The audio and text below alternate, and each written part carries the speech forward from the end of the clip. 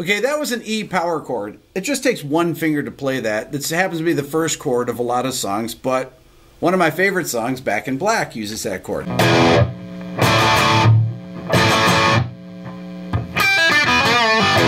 Now, you notice I'm playing a guitar that's left-handed, right? So it's not a reverse image. I'm playing my son Dylan's left-handed Gibson SG. Later on in the video, I'm actually going to attempt to play Back in Black. I've never played guitar left-handed before, really, other than today, but I'm going to attempt to play it on this guitar. Before we move on, let's talk about handedness. According to most sources, about 10% of the world's population is left-handed. Now, that actually breaks down into two other categories people that are ambidextrous, meaning they can use both hands equally, and also people that are cross dominant. Now, that refers to people that change hand preference between different tasks. For example, my son Dylan. Dylan writes left handed, as you can see here, but he happens to throw a ball or shoot a basketball right handed. This picture is of three of my brothers, John, Lou, and Ray. Now, Ray is completely left handed, and Lou is actually cross dominant. He writes with his left hand and throws a ball with his right hand, just like Dylan. The difference is that Lou can actually write with both hands, either right or left handed. As a matter of fact, he can write the same thing at the same time with both hands. People that are ambidextrous or cross dominant make up only about 1% of the population each. So in my family, two out of seven is actually about 28%. So 28% of us are left handed. This is actually above the norm of 10%. Then, when I was in high school, my guitar teacher, Glenn, was left handed. So, when he would teach me, the guitar neck would go the same way and it was very easy to learn because it was like looking in a mirror. Some guitarists play right handed guitars flipped over left handed so that the high E string is on the top of the guitar, like the great Albert King, as you can see here.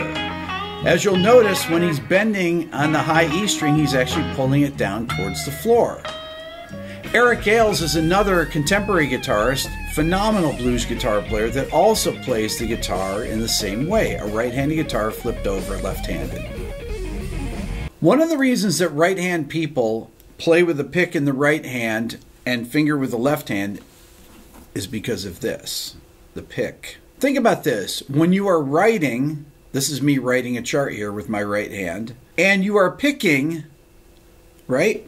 Pretty much the same motion as writing. That's why it feels natural to strum and play single notes with the right hand because it's pretty much like writing. The same thing goes for left handed people. If you write with your left hand, well, you're going to pick up your left handed guitar and strum that way. When my son Dylan picked up the guitar for the first time, he immediately held it this way because it was natural for him. Interestingly enough, in the orchestra, think about violin, viola, cello, and bass. They are all right handed. Why is that? Well, one of the reasons is if you have a left handed violin and they're sitting next to a right hander, you're going to be stabbing each other with a bow and it doesn't look uniform. So, orchestral instruments are made for right handed people. The piano, is that a right handed instrument? Well, all the melody lines are typically in the right hand. Yeah, you can have the melody in the left hand too, but typically melodies are played in the higher register with the right hand.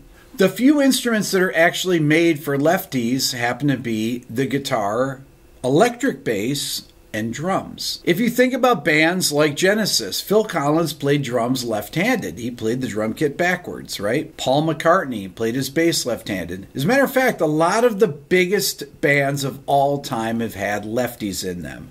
Jimi Hendrix, Kurt Cobain from Nirvana, Tony Iommi from Black Sabbath, all lefties. Like I said, Paul McCartney on the bass. Doug Pinnick, bass player and singer of King's X, left-handed.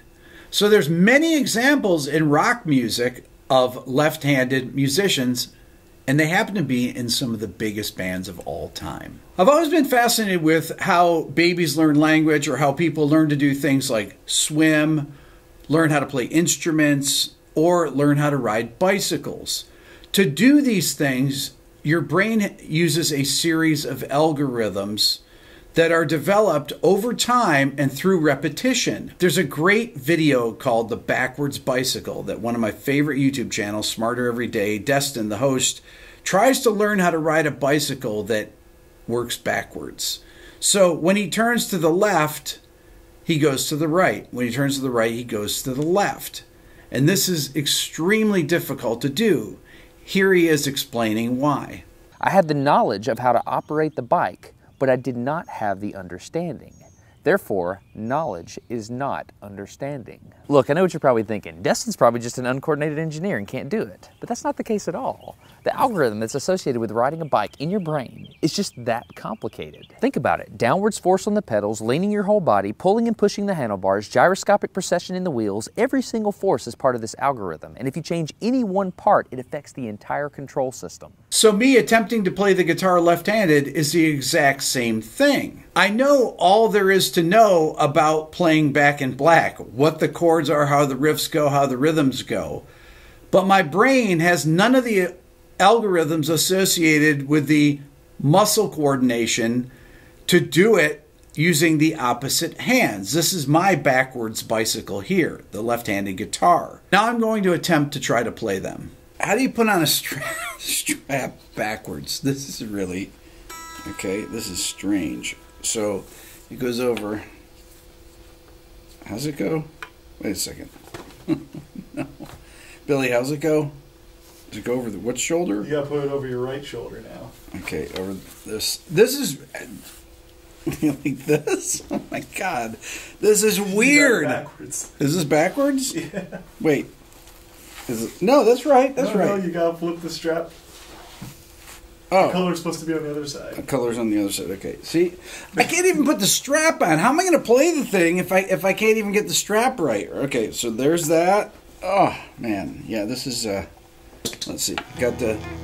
I got to turn up. Even the knobs are backwards here. I got my pick. Okay.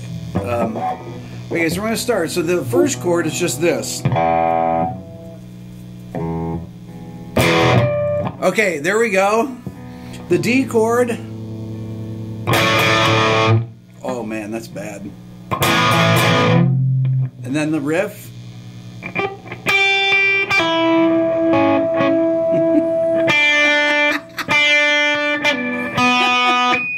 uh, oh jeez, bend. A wrong string. Let me practice the riff again. Um,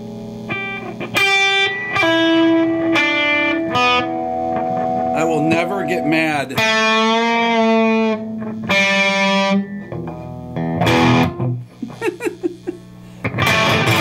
oh boy.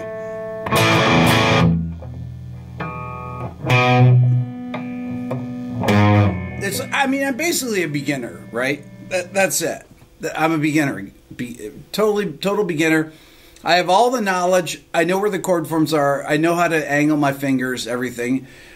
I just can't do it. The weird thing is that this is my dominant hand, right? I play I can play the piano with my right hand, I write with my right hand. Everything I do, I throw a ball, I shoot a basketball, everything with my right hand. You'd think I'd have the fine motor skills to be able to play these basic power chords, right? This only involves one finger here. This involves two fingers, the D power chord, and the A power chord involves one finger.